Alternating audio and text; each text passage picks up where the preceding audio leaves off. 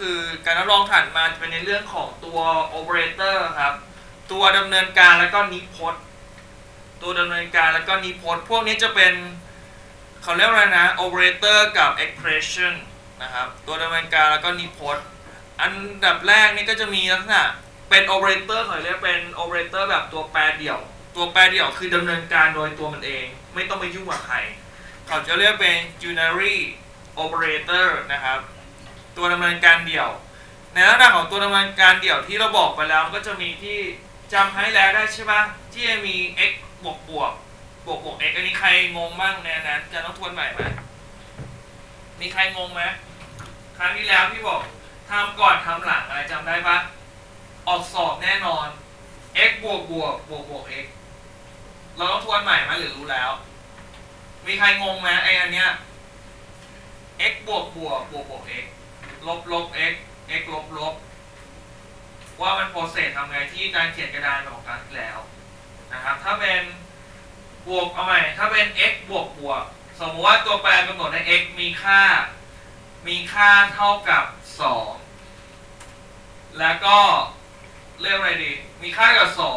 2 แล้วก็อะไรวะ เขียนก่อน มันก็จะมีบวกบวกกับลบลบอะครับ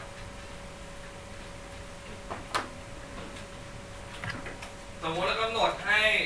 ตัวแปร x เนี่ยมีค่าเท่ากับ 2 ใช่ไหมครับ แล้วก็ y มีค่าเท่ากับ 3 นะครับ แล้วถ้าผ่านคำสั่ง สมมุติว่าเราเขียนว่า x บวกบวก อันแรกก็คือจะให้ x บวกบวกเนี่ยเนี่ยตอนนี้ x มีค่าเป็นเท่าไหร่ มีค่าเป็น 2 อยู่ถูกต้องปะทำเรียกว่านะ มันต้องทำอะไรก่อนนะทำก่อนแล้วค่อยเพิ่ม สมมติ before แรกเนี่ยเรายังไม่มีอะไร เราแค่ใส่ปุ๊บแล้วบอกให้ x บวกบวกเฉย x ก็จะมีค่าปัจจุบันเป็น 2 อยู่นะครับพออีกบรรทัดหนึ่งเราต้องการให้ x มาบวกกับ y แต่มันผ่านคำสั่งนี้แล้วนะ แล้วนี่อีกอันหนึ่ง x จะมีค่าเป็นเท่าไหร่ล่ะสามสามมาบวกกับสามก็จะมีค่าเป็นหก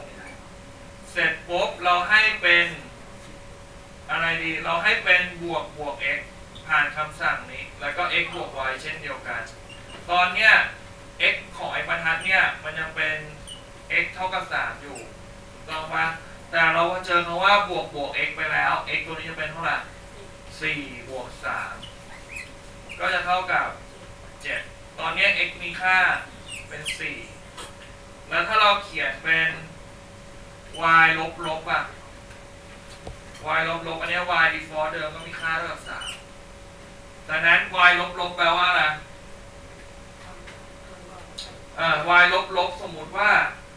เราให้นี้เหมือนกัน มันเจอบรรทัดนี้ตอนนี้ y เป็น3ทำก่อน แปลว่า x ปัจจุบันเป็นอะไรสี่4มาทำอะไรกับ y บวกสามบวก3ตรงบางก็จะเป็นเจ็ด7หลังหลังจากนั้น ไอ้ตรง y นี้จะกลายเป็นค่าเท่าไหร่ 2 x เป็นเท่าไหร่สี่อย่างเงี้ยครับงงไหมแล้วถ้าอาจารย์ลบลบ y แล้วก็ x บวก y เช่นเดียวกัน แปลว่า x ปัจจุบันมีค่าเป็น4ใช่ไหมมาบวกกับ y y นี่มันเป็น2มันลบลบ y แปลว่า เหลือ1ก็เท่ากับ5งงไหมออกสอบประมาณเนี้ย ได้นะ ออกสอบประมาณเนี้ยครับ อืมนะครับ ก็คือพวกนี้ออกสอบแน่นอนนะครับดังนั้นในความหมายของไอ้ข้อเนี้ยกรณีบอกเราไม่มีคอมพิวเตอร์สมมติตอนสอบให้สอบแบบไม่ได้ใช้คอมพิวเตอร์ให้ใช้สมอง compile เราก็สามารถบอกได้เลยว่า ตัวแปรในเขากำหนด a b เป็น integer printf เปอร์เซ็นต์ d เปอร์เซ็นต์ d เปอร์เซ็นต์ d ตัวแรกคือ a ลบลบเปอร์เซ็นต์ d ตัวที่สองก็คือลบลบ b แปลว่า a เท่ากับ a เท่ากับ b เท่ากับห้าทั้งหมดเนี่ยมันเท่ากับห้าหมดเลยนะ print ออกมา print a ลบลบตัวแรกจะเป็นเลขอะไรในโจทย์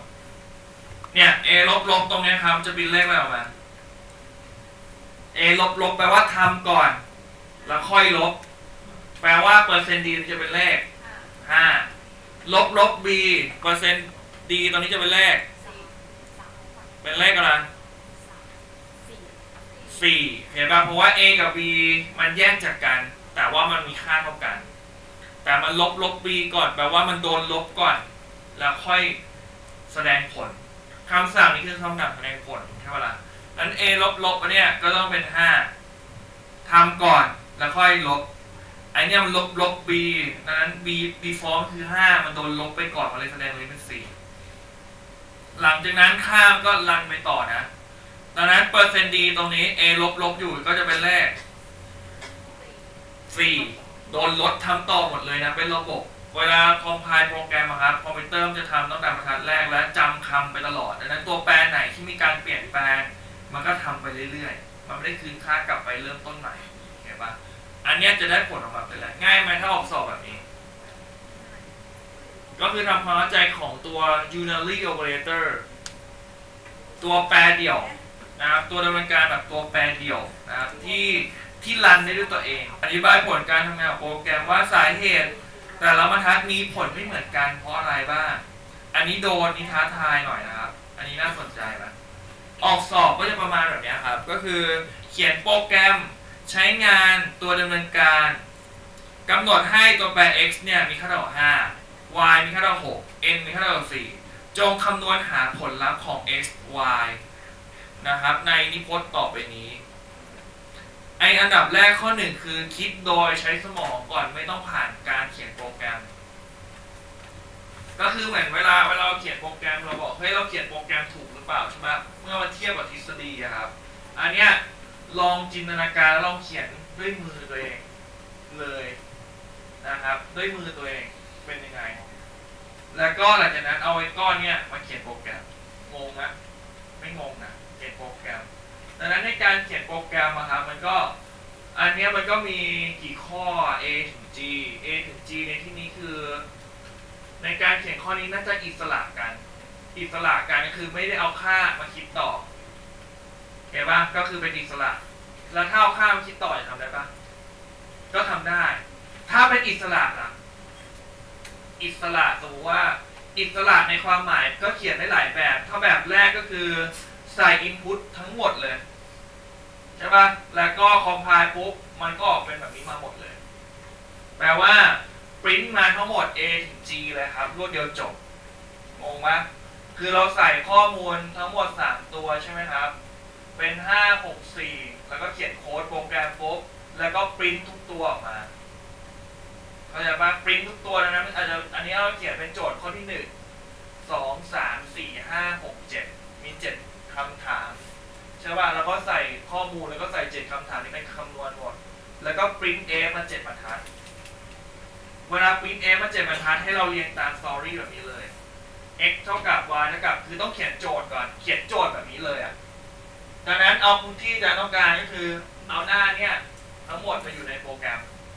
ได้ปะหน้าที่เราก็คือมัน fix ค่าแล้วนี่ไม่ได้ใส่เป็น scanf ด้วยนะ fix ค่าดังนั้นก็ อัน fix ค่าว่าเขียนโค้ดอย่างเดียวกำหนดแบบ fix เลย แล้วก็วินเอาพุตมาเป็นหน้านี้เลยทำได้ใช่ปะและถ้าเราต้องการใส่ค่าเองทำได้ไหมก็ทำมาสองแบบงงปะแบบแบบในโจทย์อะ เขาแค่ให้เราฟิกค่าเลยถูกต้องปะแล้วก็รันรันข้อมูลออกมา แต่ถ้าเราจะเอาไปใช้ประโยชน์จริงๆอะครับ อ้ตรงฟิกค่าตรงเนี้ยมันควรจะไม่ฟิก มันควรเป็น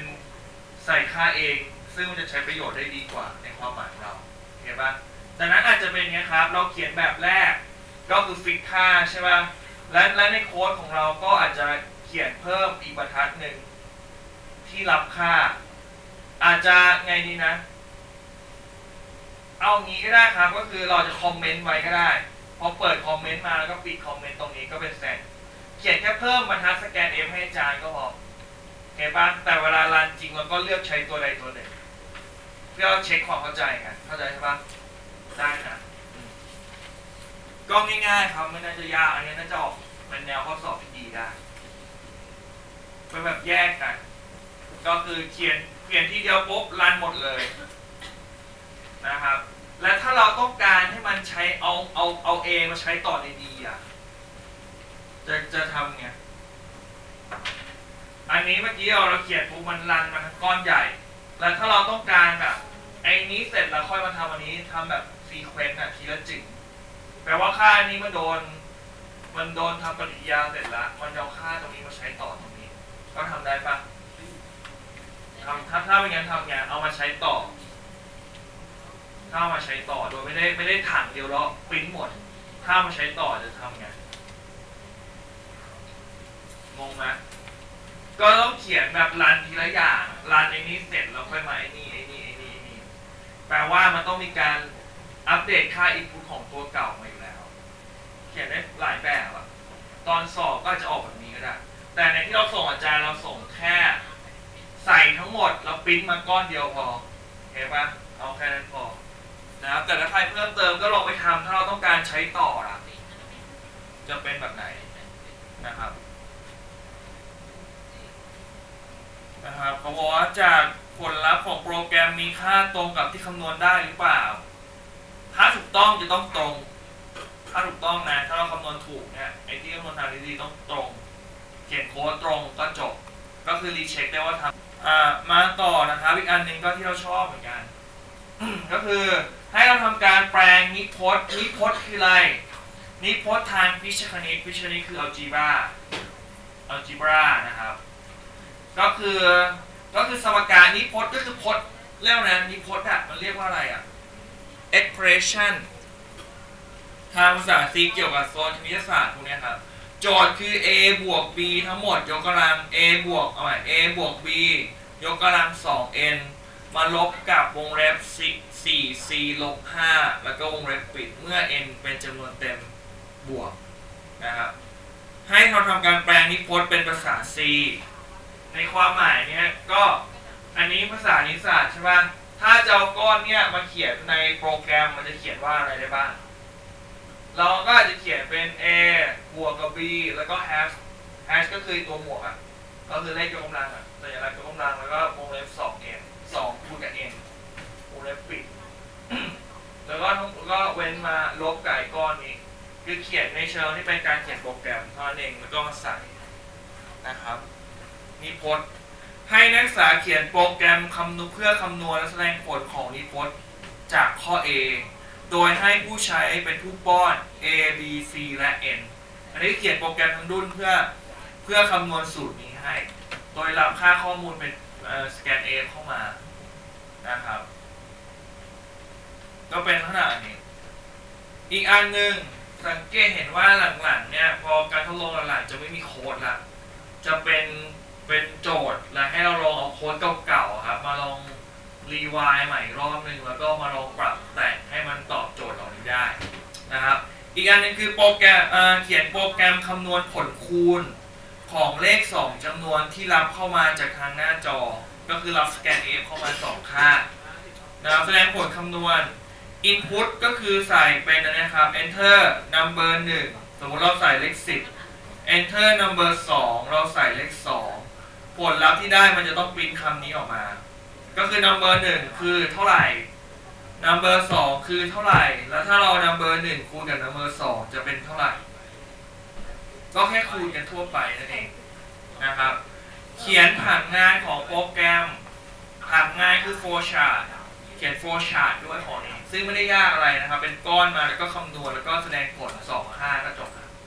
print f ออกมา ชุดคำสั่งของโปรแกรม ความหมายภาษาไทยชุดคำสั่งของโปรแกรมคือเขียนโปรแกรมมาแหละ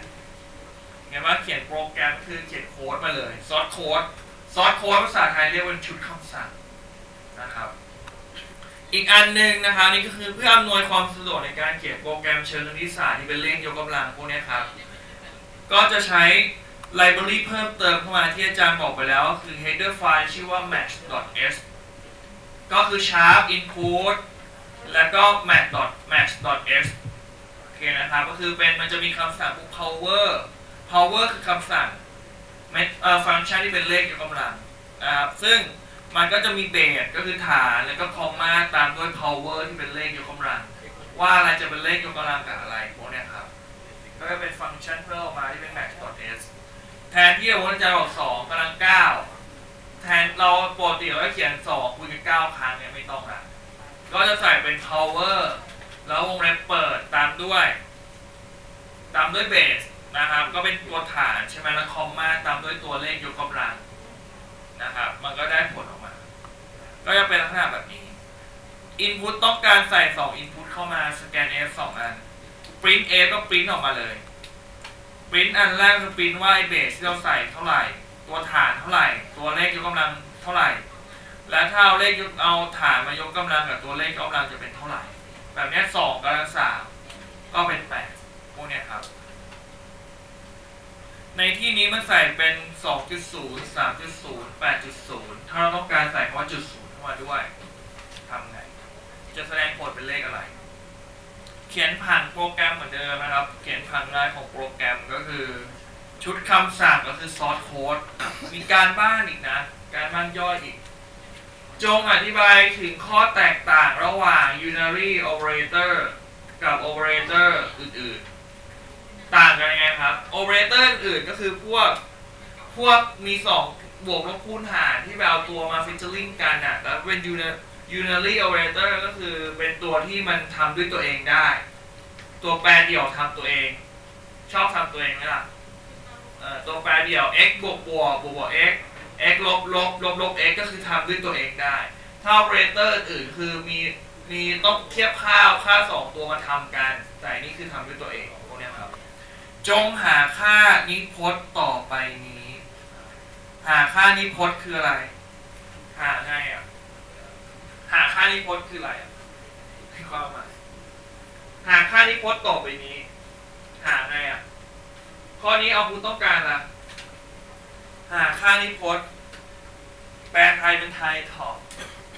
หาค่านิพจน์ต่อไปนี้หนึ่งบวกสองคูณสามได้เท่าไหร่ครับเจ็ดอะชัวร์ไหมอะ ได้ไหมวิธีการนะครับ เราสังเกตว่าเวลาเราคอมพิวเตอร์มันเรียงลำดับตัวตัวตัวบวกลบคูณหารจะเริ่มด้วยตัวไหนก่อนเอ่ออันดับแรกเริ่มด้วยวงเล็บมาก่อน อะไรมีวงเล็บจะทำในนั้นก่อน แล้วก็เรียงลำดับ ก็คือเริ่มเป็นคูณมาก่อน คูณหาร คูณหารเสร็จแล้วค่อยไปละบวกลบ แล้วเรียงไปลำดับเรื่อยๆเข้าใจปะมันไม่ได้ทำทีและแบบนี้นะ แบบนี้ก็เริ่มจากวงเล็บทำก่อนไปเรื่อยๆนะครับ ซึ่งในเลคเชอร์สอนไว้ยังเนี่ยออกนะนะครับ ในคลิปวิดีโออาจะก็สอนไปแล้วนะ มีไปแล้วนะครับ วิธีการเรียงลำดับของ expression หรือของ operator บวกลบคูณหารทั้งหมดว่าเรียงด้วยอะไรก่อนเดี๋ยวเราจะเขียนให้ดูนะครับ อันนี้คือให้ใส่เป็นจงหาค่านิพจน์เลยนะครับ หาค่านิพจน์ของตัวแปรเหล่านี้ว่ามันได้เลขอะไร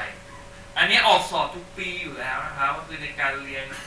เวลาเราเขียนพวกนี้ว่าคูณบวกคูณเนี่ยแบบหลังๆเนี่ยทำไงล่ะ จะได้เลขอะไรออกมานะครับ ถ้าง่ายสุดเวลาดีเช็คใช่ป่ะเราก็เขียนโปรแกรมเลยครับ